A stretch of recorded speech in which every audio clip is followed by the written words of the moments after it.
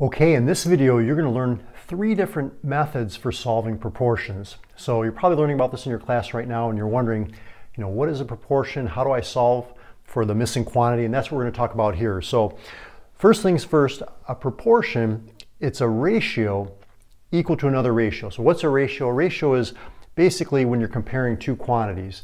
And usually we write a ratio as a fraction, like for example, uh, boys to girls, uh, students to teachers, you know, that sort of thing. You're comparing two quantities, but the two quantities, the two fractions are actually equal to each other.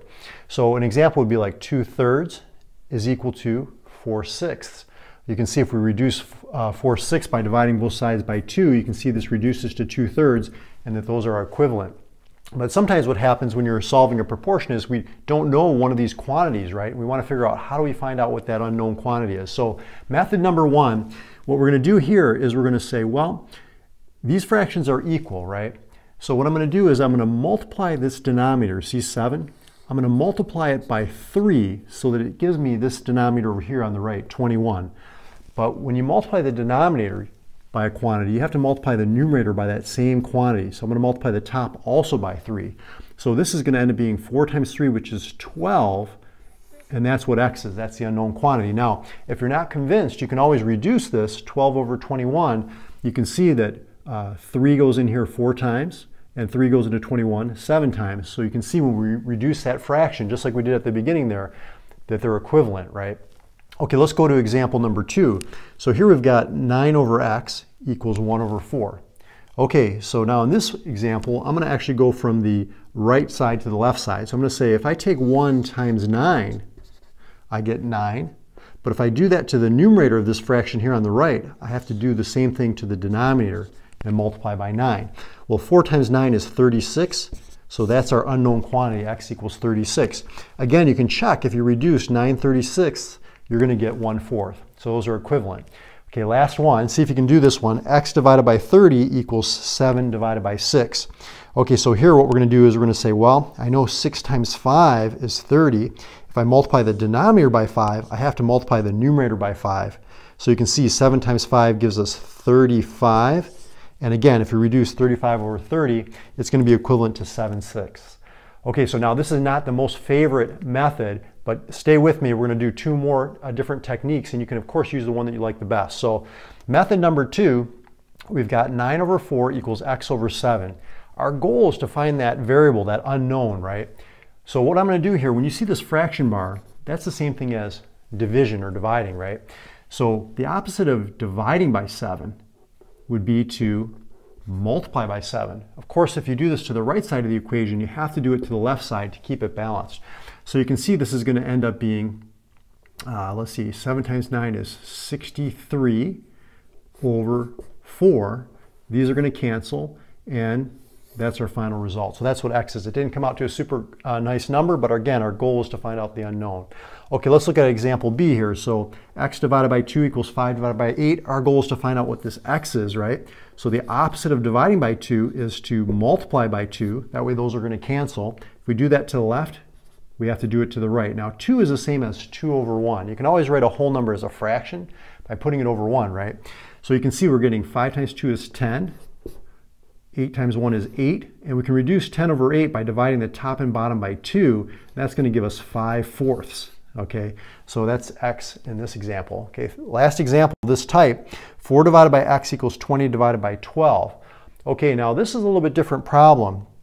And because the variable's in the denominator, and one of the techniques, or one of the properties of proportions, I should say, is that you can take the reciprocal of both sides of the equation. So if I Flip this one over here on the left and make this x over 4. That's going to be the same thing as taking the reciprocal on the right, which is 12 over 20. So now, again, I'm going to do the opposite of dividing by 4. I'm going to multiply both sides by 4, okay?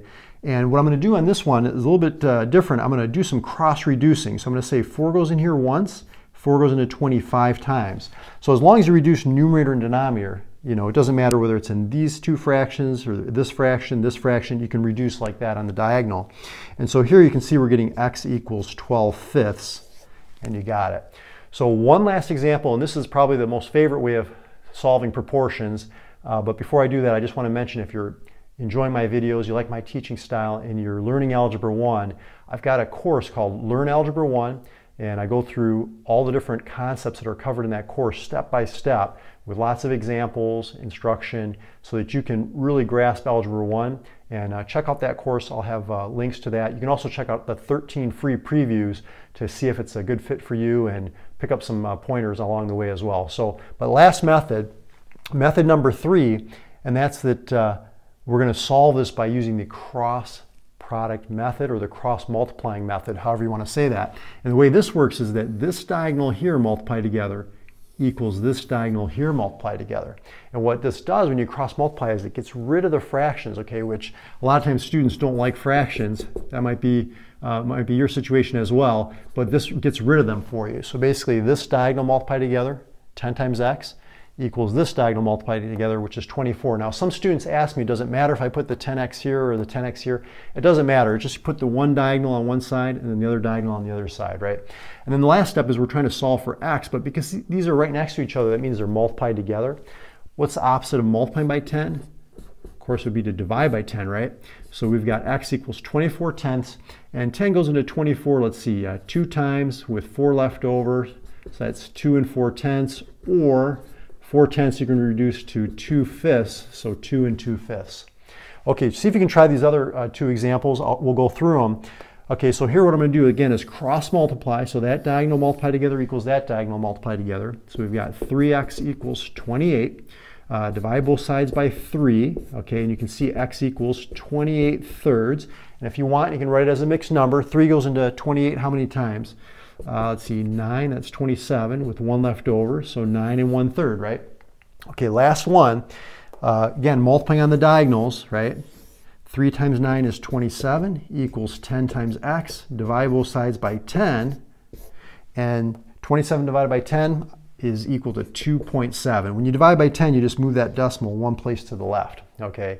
If you're dividing by 100, you move it two places to the left.